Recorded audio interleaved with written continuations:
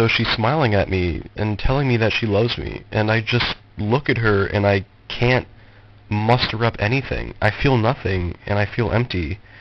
And I'm scared. Oh my god, I don't